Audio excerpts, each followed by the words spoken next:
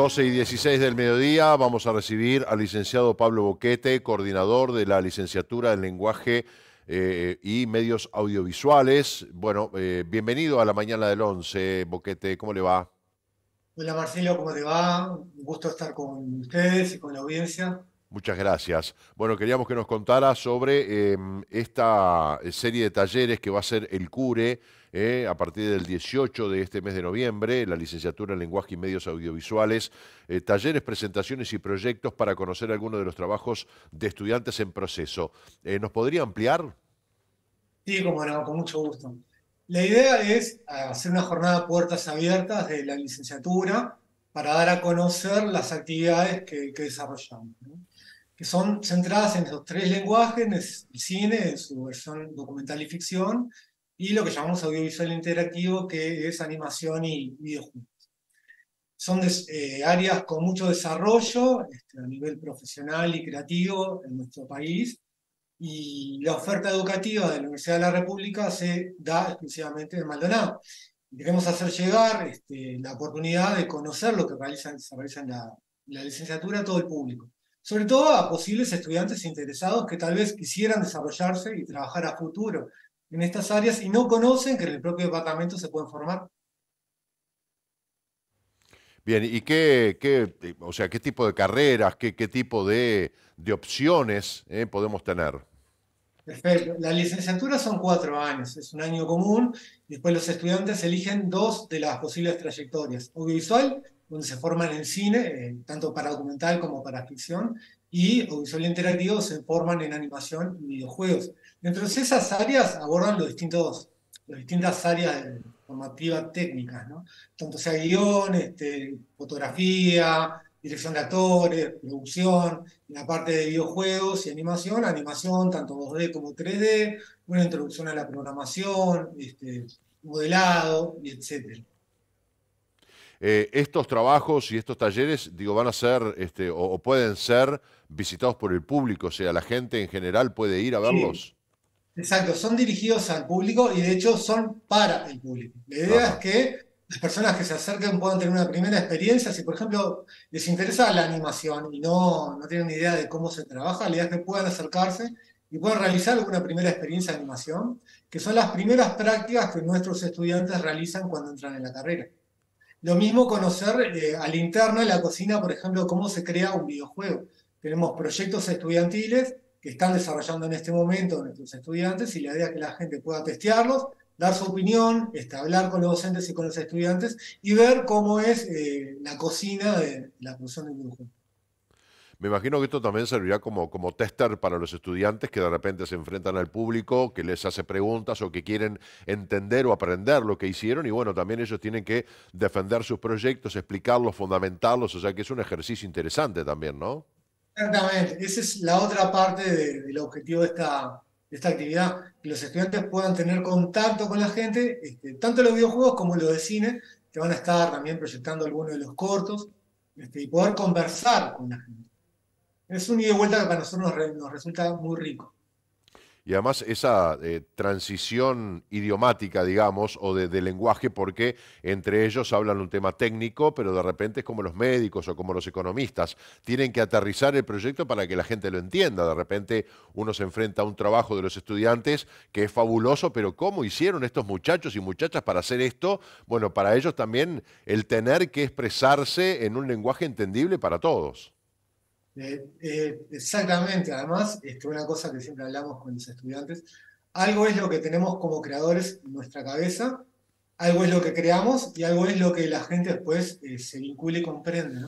Entonces, en ese diálogo, en ese día de vuelta, se da una instancia muy rica para, para las dos partes. ¿Y qué pasa después de todo esto, este Pablo? ¿Qué, qué, cómo, ¿Cómo sigue? ¿Qué pasa con esta muestra que van a hacer? ¿Es solamente una cuestión participativa o una cuestión pensada en el público en general? ¿Qué, qué otros caminos tienen?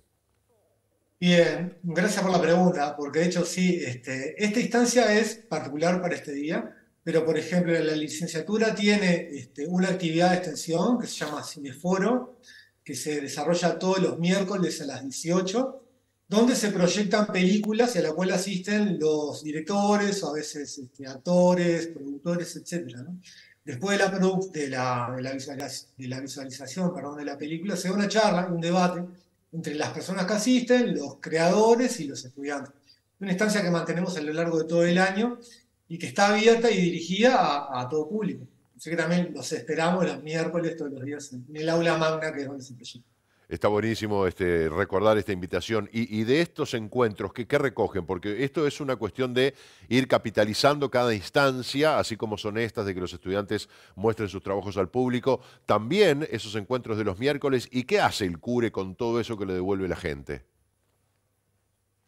Eso es una instancia formativa para los estudiantes. Este, es plenamente formativa, porque vos tenés una devolución de, aquello que estás creando, una devolución de, la mirada de la gente, a la cual estás dirigiendo tu trabajo. Y ahí se da un intercambio enorme. A veces encontrás con comisiones que no, o perspectivas que no, las habías tenido en cuenta, que siempre te suman. Así que esas instancias de, colaboración son muy ricas tanto para los estudiantes como entendemos para, todo el colectivo. La actividad del de, 18, que es mañana, ¿no? Este, eh, el horario o dónde, dónde consultar a ver eh, qué, puedo ver, o si hay algún lugar donde yo pueda informarme al respecto antes de ir. Sí, el horario es de 3 a 19, estamos abiertos, tenemos distintas actividades a lo largo del día. Pueden hojear en la página misma del CURE, que es cure.edu.uy. También pueden estar en las redes sociales, en Instagram, tengo la dirección por acá. Tenemos una que es animación, guion bajo, videojuegos, cure, donde pueden ir viendo algunos de los contenidos que tenemos.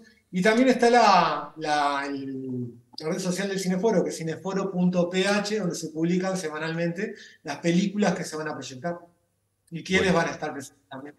Muy interesante. Licenciado Pablo Oquete, muchas gracias por esta comunicación. Bueno, por supuesto, felicitarlos por el trabajo que hacen y seguramente mucha gente se interese en conocer en detalle eh, lo que hacen los estudiantes del CURE en estas licenciaturas. Para eso estamos nosotros, para que vengan a, conversar con el equipo docente y también con, los estudiantes. Y te agradecemos mucho la oportunidad de ayudarnos a difundir la actividad que es dirigida a la gente. Con mucho gusto, siempre dispuestos para difundir las actividades del CURE. Gracias y hasta pronto. Muy bien, gracias Marcelo. Un, abrazo.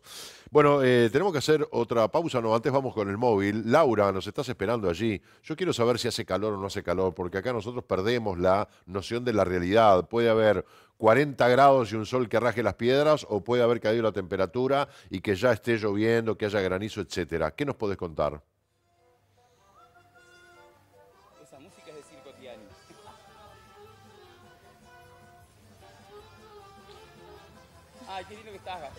Gracias, Marce. Bueno, mira, yo no sé si voy a ser buen parámetro para contarte si hace calor en el lugar precisamente en el que estoy. Porque hace, estoy en la carpa del Mega Circus Park y acá hace mucho calor. Si afuera hace, no sé, si afuera tenemos 23, 24 grados, acá, hace 238 más o menos.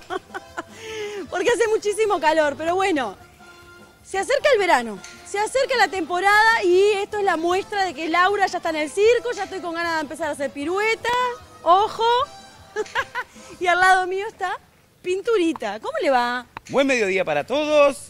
¿Cómo anda toda la gente de Canal 11, todos los espectadores de este programa? Bueno, acá estamos por primera vez en Maldonado presentando un circo y un parque todo junto, eso es buenísimo, porque uno viene, trae a los niños y tenemos todo junto en un solo lugar. Sí, así es. Estamos acá en Camino de los Gauchos, eh, al lado de la escuela, todos conocen el lugar porque ya han venido muchos circos, muchos parques. Y bueno, ahora estamos presentando una propuesta diferente que es el Mega eh, Circo.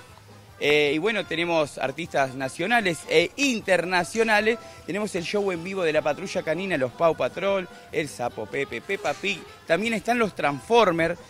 Por primera vez acá en Maldonado llegaron los Transformers directamente de la pantalla grande, así que están todos invitados a ver la función del mega circo. Contame cuándo, contame los horarios, contame cuántas funciones.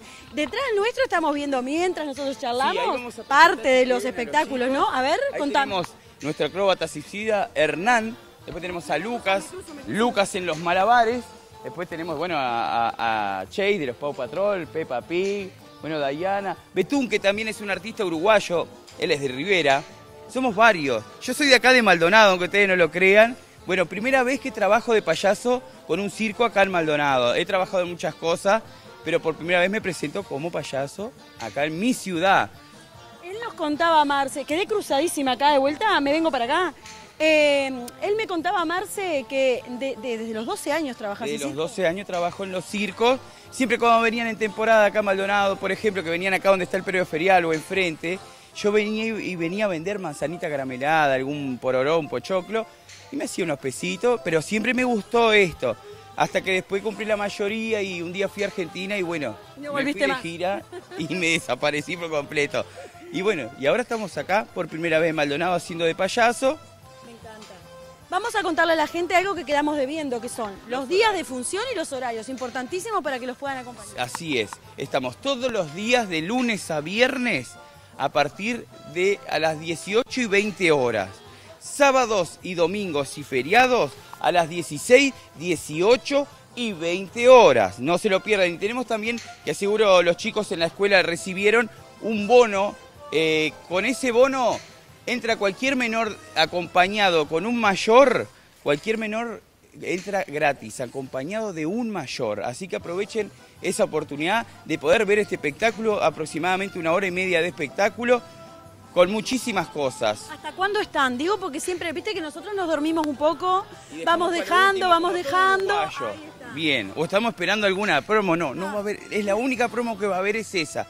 Eh, seguro en las escuelas, en la feria, en todos lados, vamos repartiendo los bonos de una promo que es un niño gratis acompañado de un mayor. O sea, paga el mayor, paga mamá o papá y el niño viene gratis. Es eso mismo, así pueden, toda la familia puede venir, precios accesibles, a partir de 250 pesos.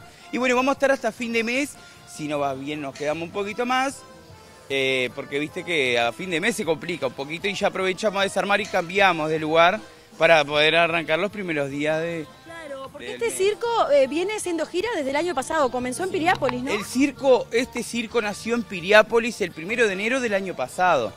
Eh, hicimos temporada en Piriápolis, estábamos con el parque también. Y bueno, recorrimos ya la semana de la cerveza en Paysandú, estuvimos en Colonia, Mercedes, estuvimos en Rivera, Artigas, Bella Unión, eh, Tranqueras, estuvimos en Tranqueras, Durazno, eh, Sarandí Grande, y bueno, un montón de lugares más que ahora no me acuerdo. Tantos riconcitos del país que ahora no te acordás. menos hacemos unas 9, 10 ciudades por año. Pinturita, la verdad que es un placer conocerte. Placer. Chiquilines, gracias a todos, porque hace muchísimo calor.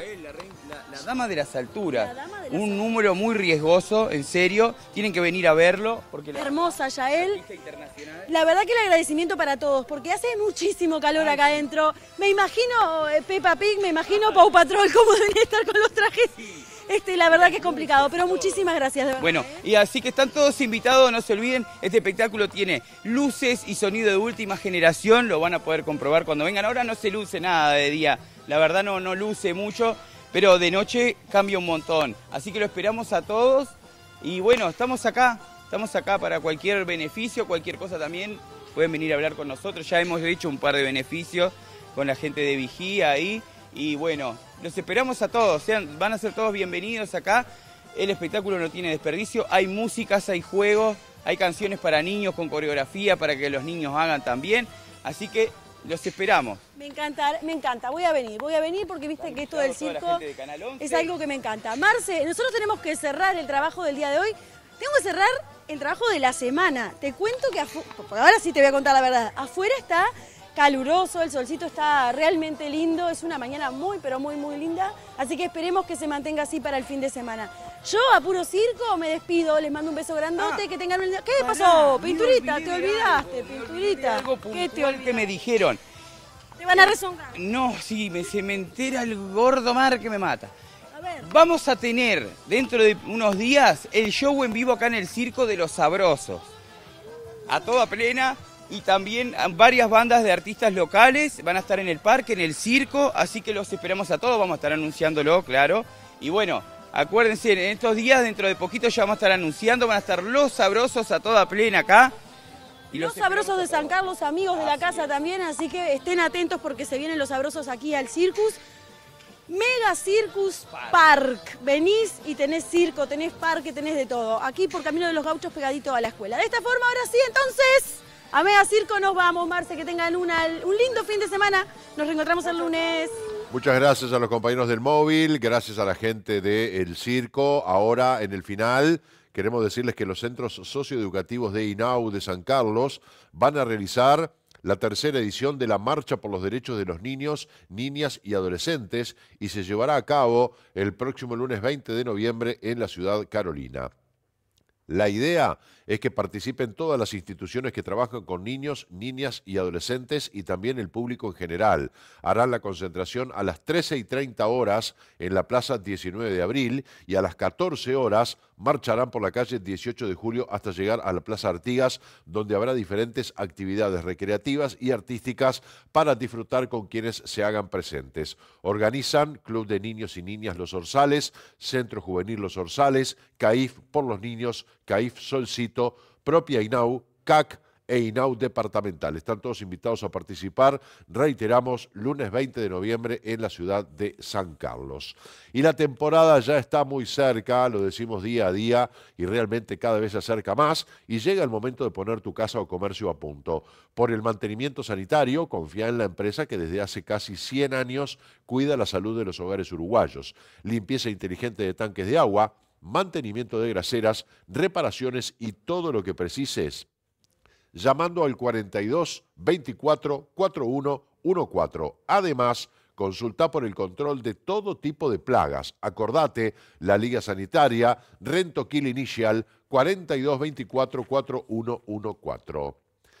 Y finalmente contarles que Paseo del Este está de cumpleaños, nada más y nada menos, y lo festeja como corresponde. Te invitamos este sábado 18 de noviembre desde las 15 horas a vivir el séptimo aniversario de tu Shopping Mall de Maldonado. Un gran sábado de festejos con food trucks, stand de cerveza artesanal con cerveceros Maldonado, DJ, bandas de música en vivo y como cierre llega desde Argentina Hernán y la Champions Liga para cerrar una gran jornada de festejos. La entrada es un, alimento no perecedero para colaborar con los merenderos del Están todos invitados, te esperamos para festejar juntos en Ruta 39 y Ruta Perimetral. Paseo del Este es tu shopping de Maldonado. Y así llegamos al final de este programa, cerrando una nueva semana junto a ustedes. Espero reponerme el fin de semana para que el lunes por lo menos entienda lo que digo. Gracias por vuestra compañía, que tengan un excelente fin de semana, que lo disfruten, cuídense, nos reencontramos el lunes.